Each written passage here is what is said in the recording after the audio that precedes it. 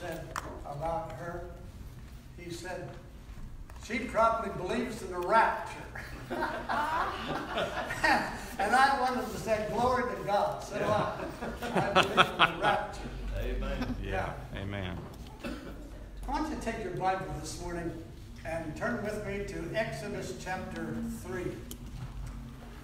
Uh, last Monday, uh, if you uh, follow the daily bread, but last Monday, uh, we were reading in uh, Daily Bread, and it was all about the, the burning bush. You know, the bush that, that uh, Moses saw in the desert of Midian. And, uh, and I said to my wife after we had our devotions and prayed and everything, and I said, you know, I got a sermon about that. I, I don't know where it is. I haven't any idea. Uh, but, I, got a sermon about that, and so afterwards I went into my study and I dug and hunted and searched, and I found it. Amen. Uh, I, it doesn't look like I preached a sermon since 1987. 1987. Wow. And uh, so I got it out and I, I, I sharpened it up and brightened it up and tried to bring it up to date and so on. And, and I'd like to preach it this morning. It's entitled The Bush is Still Burning. The bush is still burning. Look, in, look at the, the passage. Uh, beginning in verse uh, 1, it says, Now Moses uh, kept the flock of Jethro, his father in law, the priest of Midian, and he led the flock to the backside of the desert. And he came to the mountain of God, even to Horeb. And the angel of the Lord uh, appeared unto him in a flame of fire uh, out of the midst of a bush. And he looked, and behold, the, the bush burned with fire, and the bush was not consumed. And Moses said, I will now turn aside and see this great sight, why the bush is not burnt. And when the Lord saw that he turned aside to see, God called unto him out of the midst of the bush and said, Moses, Moses. And he said, Here am I. And he said, Draw nigh, draw not nigh hither. Put off thy shoes from off thy feet, for the place whereon thou standest is holy ground. Moreover, he said, I am the God of thy father, the God of Abraham, the God of Isaac, and the God of Jacob. And Moses hid his face, for he was afraid to look upon God. And God said, I have surely seen the affliction of my people, which are in Egypt and have heard their cry by reason of their taskmasters, taskmasters, for I know their sorrows. And I am come down to deliver them out of the, the hand of the Egyptians and to bring them up out of, out of that land into a good land and large and unto, the, unto a land flowing with milk and honey, unto the place of the Canaanites, the Hittites, the Amorites, and the Perizzites and the Hivites and the Jebusites. Now therefore, behold, the cry of the children of Israel is come unto me, and, and I have also seen the, the oppression therewith, wherewith the Egyptians oppressed them. Now, come now, therefore, and I will send thee unto Pharaoh, that thou mayest bring forth my people, the children of Israel, out of Egypt. And Moses said, Yes, sir. I'll be glad to. now, he didn't say that. Now, he offered up all kinds of excuses and uh, didn't want to go. Wasn't, wasn't planned on going. But God convinced him. And this is what he said. This is what he said. I love this. Uh, he said, uh, I'll go with you. Wow. Look at verse 12. And he said, Certainly, I will be with ye. You know, you know, someone say, may say to you someday, I want you to teach a Sunday school class, and you say, Well, I can't do that. And I say, God will be with you. Somebody, uh, perhaps with a voice, uh, is asked to sing a song, and you say, Well, I can't do that, I can't sing. And I say, God will be with you. Someone says, I want you to preach on Sunday, and you say, Well, I can't preach, I, I can't do that. And I say, God will be with you. That's enough. You don't need anything else. As long as God is with you, uh, you, you can get the job done. You go to work tomorrow, and uh, God uh, says to you, I want you to witness to this person or that person, and you say to yourself, I can't do that. But you can because God will be with you. I want you to keep that in mind as you leave this morning. I want you to understand that God will be with you. And so let's, let's bow our heads for prayer, please, as we, as we think about this, this message about God and, and, and, and the burning bush. Our Father, I pray that you would minister to our hearts this morning. Uh, our hearts are heavy. We, we, we thank you for your, your blessing, your goodness. We thank you for all that you have done for us. And I pray that you'll bless this message this morning to our hearts. Bring to my mind that which you would have me to say. And I'll thank you for it in Jesus' name. Amen. Two things I want you to I want you to notice about this, this passage, particularly as it relates to the bush. The first thing you'll notice is that is that uh, uh, uh, the the the the bush is not being consumed. That's what it says there. The bush was not consumed. Now, something else is that the fire, the fire must have lost its ability to consume. Fire does that. Fire just literally consumes things. But fire must have lost its ability to consume. And then, and then the bush lost its ability to be consumed.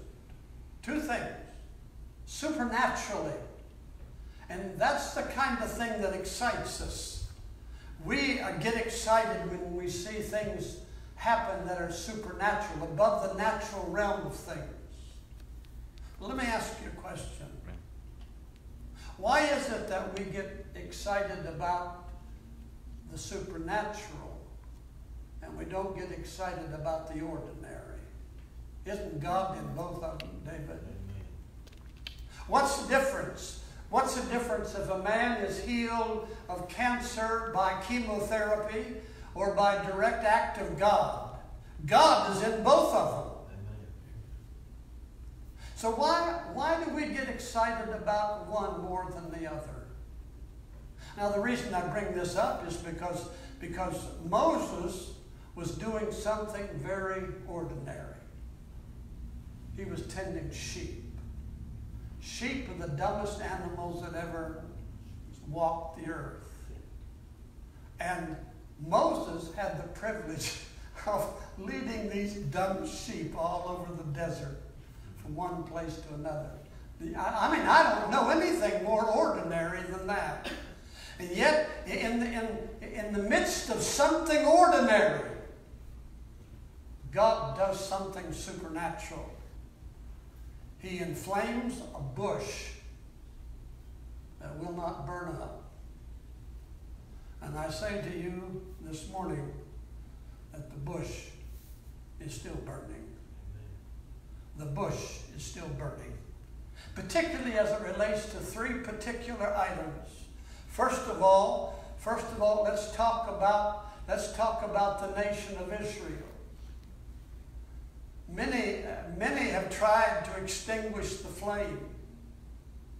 From, from, from, from the time God spoke to uh, Mo, Moses uh, in, the, or Abraham uh, in, in the wilderness.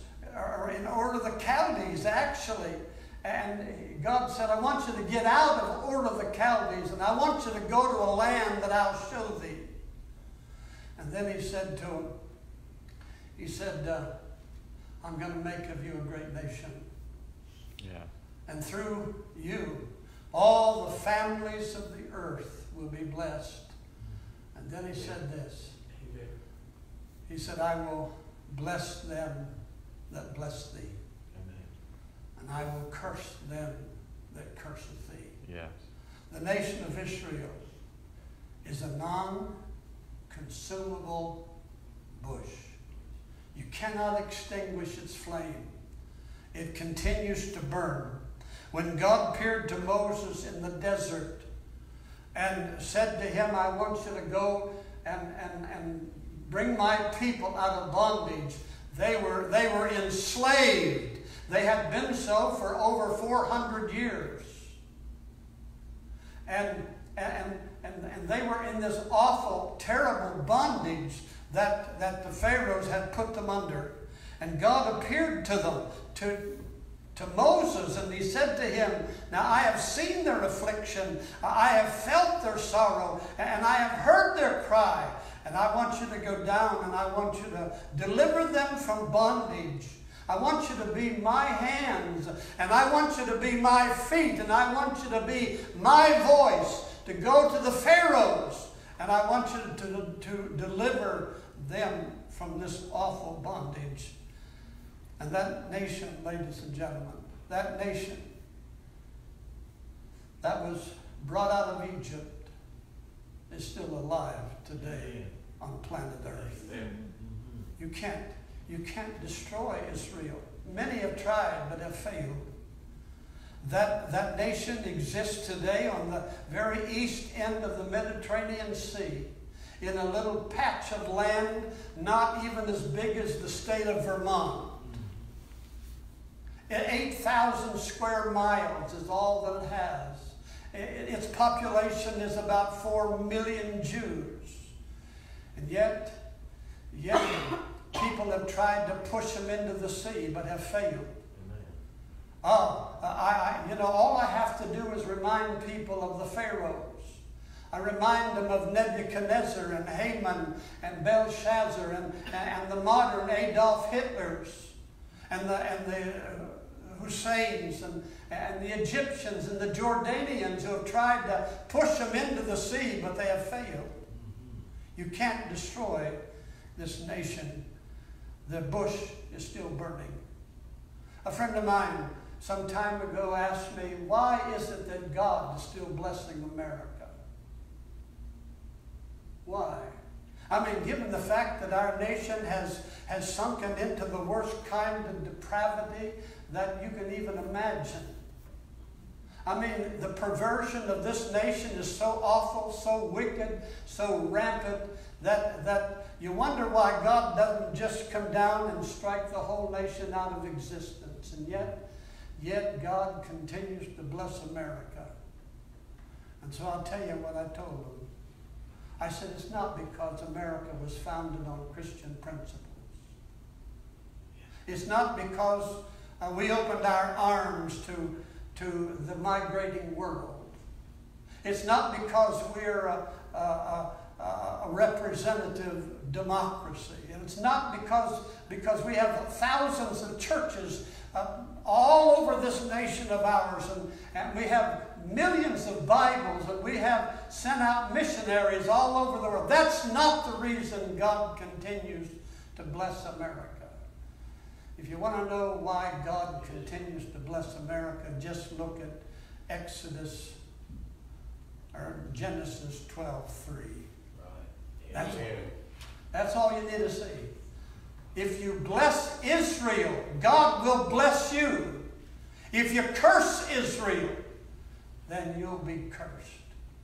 I've often said, you let, you let the, the liberal rabble rousers uh, that, are, that, that are propagating socialism all over this country. You let them in office and, and, and you, you, you let them continue to curse Israel, and, and the hand of blessing will be taken off of this nation, and it'll not be long until, until it's part of the rabble rousing uh, segment of, of would be societies. The bush. The bush is still burning. You can't destroy it. And those who try might just as well reach up and grab a hold of a bolt of lightning. They might, you know, they'd be better off uh, uh, playing in a den of rattlesnakes than to mess with Israel. Amen. You mess with Israel and you, you invite the judgment of God upon your life and upon your nation. The bush is still burning. And it will continue to burn. But let's look at the next one.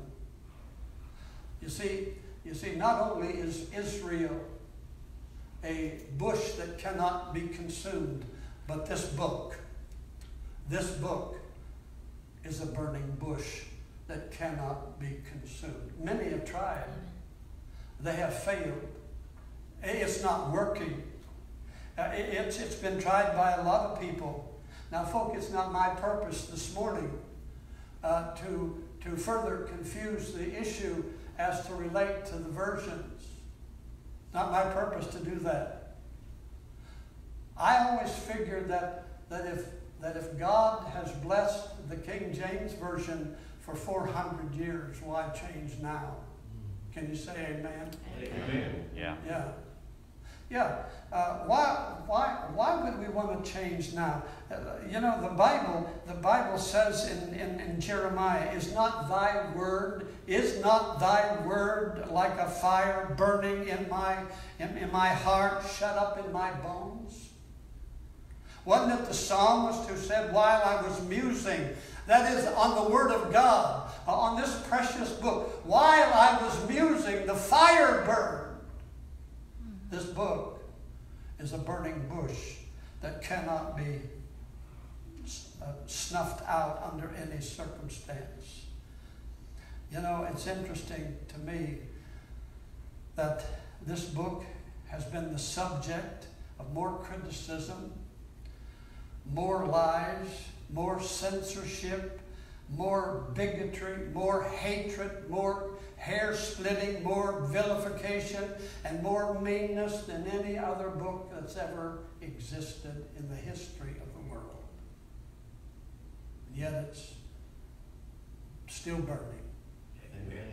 It's, it's, still, it's still the most popular book that's ever been written. It's the first book that came off of the printing press.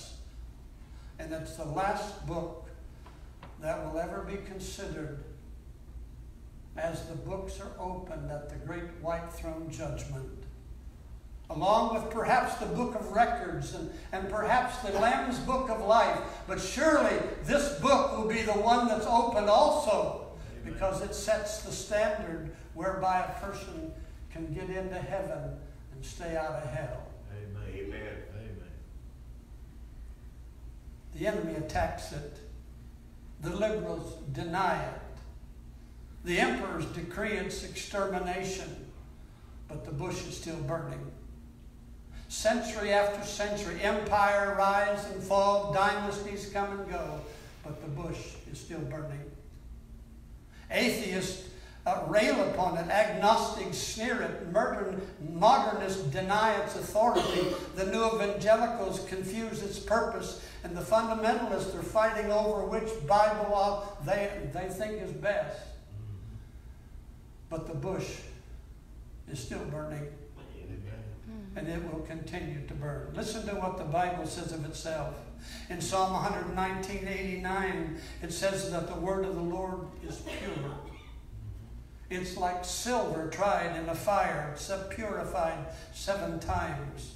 And he says, Thou shalt preserve them for this generation forever. Jesus said in Matthew 5:18, "For verily I say unto you, till heaven and earth pass away, not one jot or one tittle will pass away till all be fulfilled." Amen. He said also in Mark 13:31, "Heaven and earth shall pass away, but my word shall not pass away." What are they saying? I'll tell you what they're saying. As long as God lives, there's going to be a Bible. As long as He reigns in heaven, there's going to be this book. You see, the book continues to burn. Burn. It's still burning. It's burning in my heart. It's burning in your heart. It's burning all across the world. Missionaries uh, and, and, preachers uh, are still preaching it uh, all over this world of ours. Hauling out the Bible, and, and some places have only fragments of it. Some places have no Bible whatsoever, but maybe a fragment or two. And that, and, but the Bible still burns, and it keeps on burning. But what about number three? Not only is the nation of Israel a burning bush, not only is the Bible, the Word of God, a burning bush, but the church of the firstborn, the church of Jesus Christ, is a bush that's burning and it cannot be snuffed out. Again, many have tried. From the day of Pentecost when it was born until this very moment, the church bush continues to burn. Oh, well, there's been times, no doubt, that it's flickered, it's grown, it's grown dim, but the, but the, but the, but the, the, the fire's been fanned, and, and, and it starts to burn again mm-hmm. and it burns brightly. Go to Rome, where they tried to destroy the church. Listen to the crowd as they come into the Colosseum. I've been to the Colosseum. And, and, and literally tens of thousands of people gathered in the Colosseum. And, and not long until uh, over in the corner they begin to chant Bring on the Christians. Bring on the Christians. And it catches on. And the entire stadium is ranting, ranting and raving. Bring on the Christians. Bring on the Christians. And out of a room, hundreds, hundreds of Christians come out into the arena. Oh, they had been, they had been offered freedom had they um, renounced their faith, but they wouldn't do that. They poured out into the arena. And then off in another corner, we heard a faint cry bring on the lions.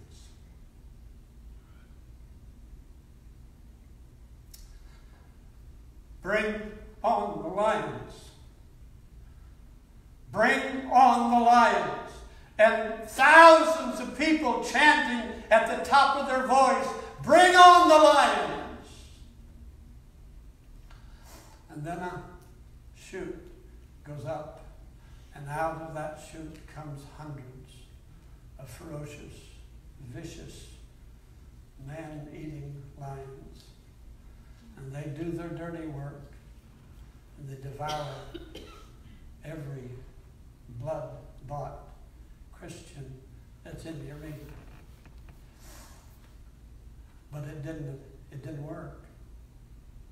For every, for every one they killed, ten took their place. For every hundred they killed, a thousand took their place. I think of that time when when the Auca Indians killed those five missionaries many years ago. Did you know? Did you know that the greatest enlistment of missionaries that have ever taken place in the world took place after those five missionaries were killed? Listen, folk, the church is alive well on planet Earth and, and, and, and, and you, you can't put it out. It continues. You, you go to Spain uh, where, where the Inquisition took place, uh, where they tried to tried their best to keep the, the opposition from, from catching on and, and, and, and complaining against the pagan existing church of that day. But it didn't work. The church bush keeps on burning. Go to China. Go to China, where it is believed that over 50 million Christians were burned and destroyed and murdered during the reign of Mao Zedong. But here we are, 2019, and it is believed that there are more believers in China today than anywhere else in the world, including America. Yeah. Uh, you, you, you, just, you, you just can't stop. You cannot stop the, the, the ongoing uh, progress of the church because, because Jesus said in Matthew 16 18, Upon this rock I will build my church, and the gates of hell shall not prevail against it. Was he talking about Peter? No. No. If Peter was a little rock, Petra, a little rock.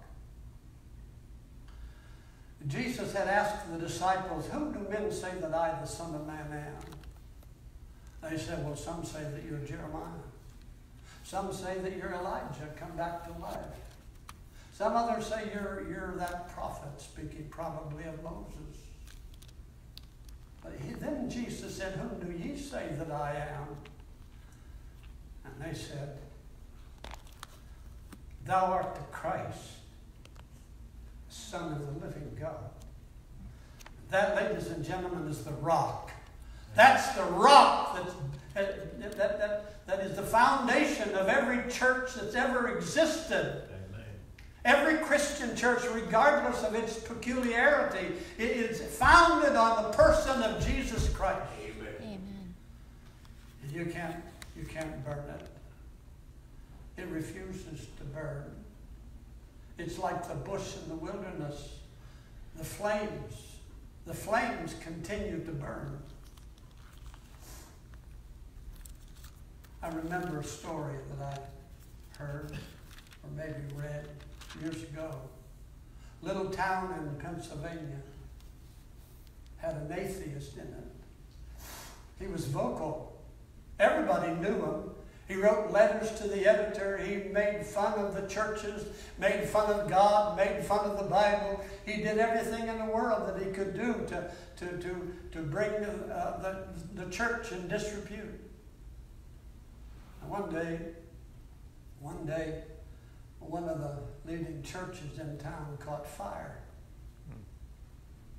And it began to burn. Flames were flying in the air and fire trucks came, of course, all the other uh, first responders came, and, and they were putting out the fire. And people, people, almost all the city, all the town came, and, and they were standing around the perimeter watching the fire burn. And, and one of the deacons looked over and saw this atheist standing there with them. And the deacon said to him, Wow, Never seen you in church before. His answer was classic. He said, I've never seen the church on fire before. Hmm. Maybe that's our problem. Yeah. Maybe that's our problem. The church has lost its fire. Oh, oh, the church at large hasn't. The church at large continues to burn. But individual churches like ours, the flickering fire is going out. One day, one day, if God doesn't do something special here, Aaron, you'll close the doors. You'll lock them up, sell the building. It'll be all over. Yeah, the fire, The You say, what, what, what do we do? What, what are we supposed to do? I'll tell you what we're supposed to do. We're supposed to fan the flame. Yeah. Fan the flame of, of, of supporting Israel as a nation uh, that, that God has blessed and will continue to bless. Fan the flame. Fan the flame of God's Word. Don't let anybody speak disreputably about the book. Fan the flame. Read it. Obey it. Distribute it. Get it out there where people can read it. Fan the flame. The same as the church. We got to pray for it. We, we have to we have to support it by our attendance, by our tithes, by our, our, our, our voice, our feet, our hands. We, we've got to support this, this place. Because if we don't, the fire will totally go out. And then, where will you go? You see, that's our job. It's to fan the flame. And we do it with our hands, our, our, our, our voice, our, our, our feet, our pocketbook. We, we fan the flame any way possible. Just keep it, keep it going. Pour, pour oil on it, pour gasoline on it, but do something to fan the flame, to keep it burning. Otherwise, it'll go out. Would you bow your heads in prayer, please? Every head bowed, every eye closed. Maybe there's somebody here today that doesn't know Jesus as their Savior. You, you, you don't know if you died today you'd go to heaven. And you say, Preacher, I'm concerned about my soul. And I'd like to have you pray for me. Is anybody like that here today? That would say, Preacher, include me in the prayer. Would you do this? Just slip your hand up.